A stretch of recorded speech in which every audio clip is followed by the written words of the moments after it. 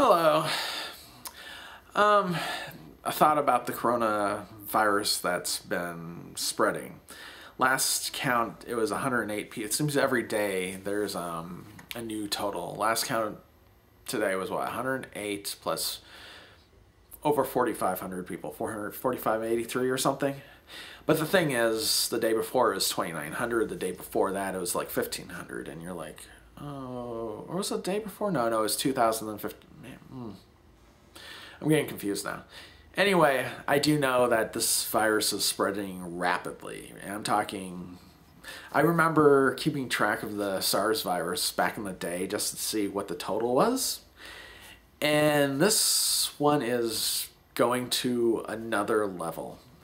And I don't think it's going to be able to be stopped because already China has cracked down hardcore and it's still spreading. It's not stopping. So, what's my point? My point is just advice.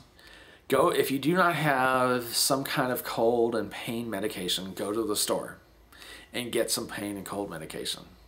Do it today or tomorrow, whenever, but do it. And the reason why is basically if it does become, which I foresee, if this becomes, it makes it into the United States, there will be a mass panic and people will go to the store and buy food, uh, flu and cold medication. And this will happen in a couple of weeks as it keeps on ex, you know, accelerating exponentially. It's not going linearly, it's going in a curved manner like this.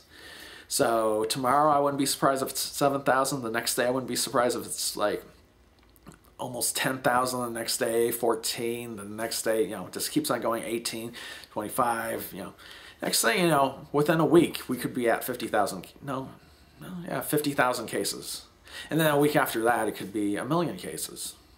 Well, maybe not a million, but yeah, soon enough, it will get to the point where you're like, there will be a run on all these things. And the problem is that this is going to cause 25% of the people, and that's a staggering number, is it 15%, 15 to 25% of the people have pneumonia. They have to go to the hospital. Here's the thing. There's only so many rooms for the hospital for people to be taken. Eventually those rooms will be, they're going to have to build buildings and put people in those rooms and and for people who have, you know, the cold, it's good to have some kind of medication when if they're overcrowded or whatever. So anyway, my whole point is get some flu and cold medication. Just do it right now before the big run comes. As FDR once said, we only only thing to fear is fear itself. And that's what you really should fear. Not necessarily the flu, but the fear from the flu. And that there will be a mass panic and people will buy all the flu and cold remedies and then you have nothing. And what if you even have a normal flu and cold? You won't be able to get it because the stores will be out of stock.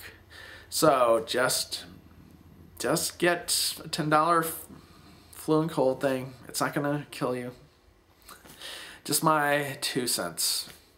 All right, that's about it. Have a nice day. Bye.